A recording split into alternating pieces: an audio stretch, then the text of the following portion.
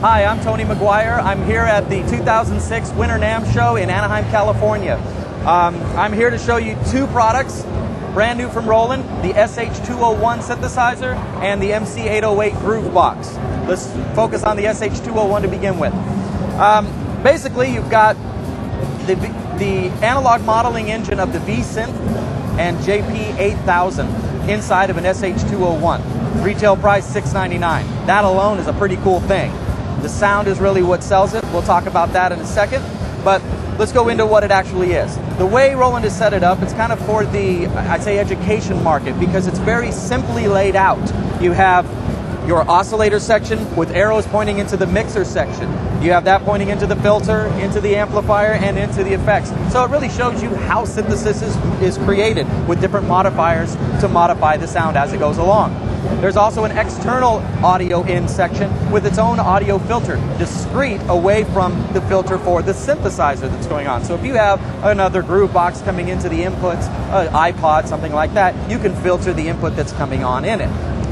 Then the USB connection on the SH201 streams audio and MIDI back and forth to your computer, both Mac and PC.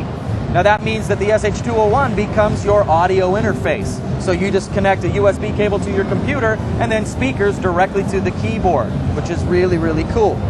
Uh, the other thing is the SH201 is the first Roland synthesizer to support VSTI as a software plugin well, it's kind of software. It's hardware dongle with software interface. And over on my laptop, you have the SH201 editor inside of, I have it in Cubase SX right now, but it'll show up in anything that receives uh, VST, which like Cakewalk, Cubase, Sonar, Ableton Live, things like that.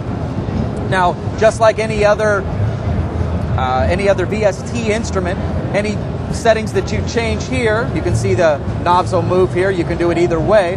And when you save your project, it saves all of those temporary settings. But if you're going out to the gig, you can press the right button and actually write the settings that you're changing in the VST editor into the keyboard. So then you go to the gig without the computer and all your sounds are inside the keyboard, which is a very cool thing indeed. I'll go ahead and play a sound real quick and uh, check out how nice this thing sounds.